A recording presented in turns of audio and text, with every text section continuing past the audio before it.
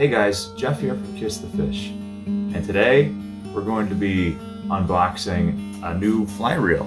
And that's going to be the Sage ESN.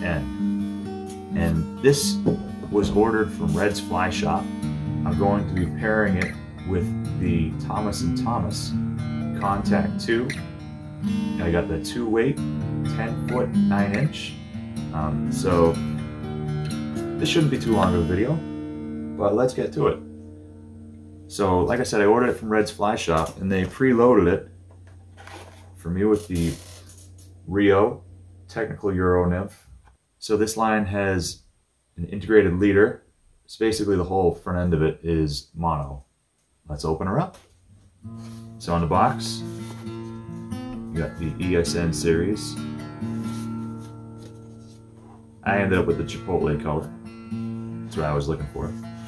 You open it up, first thing you'll see, you'll see the reel the case.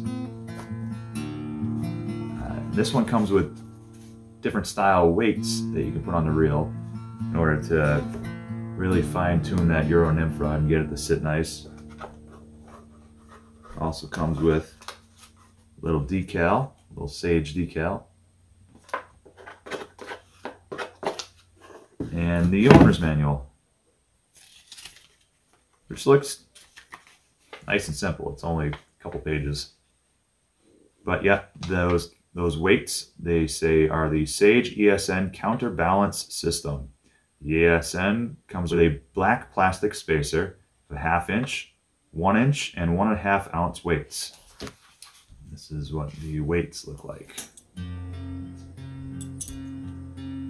Another one. Let's open her up.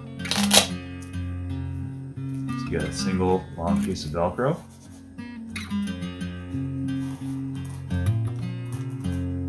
All right. This is what they call a super thin and large diameter arbor.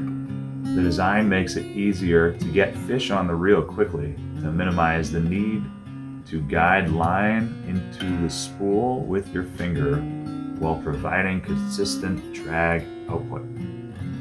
So I had Red's Fly Shop set this up with a left-hand retrieve for me. So if you're looking to adjust the drag on this, this dial right here, turn it down, nice and loose, or turn it up. Lots of resistance.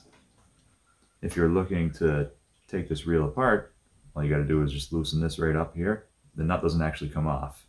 You just separate the two. Off camera, I just did it, and my line jumped pretty hard when I did that. So I'm not going to take it apart again right now. Special thanks to Red's Fly Shop for setting this up for me and sending it out so quick. I really appreciate you getting this out to me. If you like this video, hit the like down below. It makes it so other people will see this video more often.